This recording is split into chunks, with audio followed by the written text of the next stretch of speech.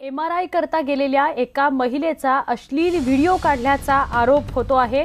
पुण्यातील जहांगीर रुग्णालयात हा धक्कादायक प्रकार घडल्याचं बोललं जात आहे.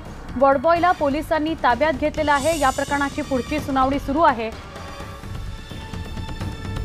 आमच्या प्रतिनिधी हलिमा कुरेशी यांच्याकडून आपण अधिक माहिती घेणार आहोत. हलिमा हा सगळा काय प्रकार आहे? केव्हाचा प्रकार आहे? एकंदरीतच आपण बघितलं तर सकाळीच ही महिला जेव्हा एम आर आयसाठी गेली होती तेव्हा ती तिला नेहमीच्या चेंजिंग रूममध्ये न पाठवता वेगळ्याच रूममध्ये तिला चेंज करायला सांगण्यात आलं आणि तिथेच तिचा व्हिडिओ रेकॉर्ड करण्यात आलेला आहे. मोबाईल ठेवण्यात आला होता या महिलेच्या ते नंतर लक्षात आलं आणि तिने त्या पद्धतीची तक्रार जी हॉस्पिटलकडेही केली तिच्या आणि तिच्या पतीने मात्र हॉस्पिटल प्रशासनाने तिथे त्यांना काही त्याची महत्त्व न ठेवता त्यांनी ती गोष्ट तशीच ठेवली. मात्र पुढे या महिलेने आणि तिच्या पतीने शंभर नंबरवरती फोन करून पोलिसांकडे याची तक्रार दिली आहे.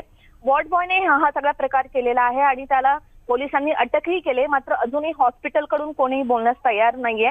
पोलिसांनी पण अधिकारी देखील आज उपलब्ध नसल्यामुळे याच्यावरती आपल्याला आणखी प्रतिक्रिया मिळू शकली नाही. मात्र हा मात्र अत्यंत धक्कादायक पुण्यातला हा प्रकार आहे. जहांगीर हॉस्पिटलमधला हा प्रकार आहे. वॉडबॉयला पोलिसांनी ताब्यात घेतलेला आहे. त्याच्याकडनं अधिक चौकशी केली जाते पण रुग्णालय प्रशासकांना कोणतीही प्रतिक्रिया दिलेली नाही. इथे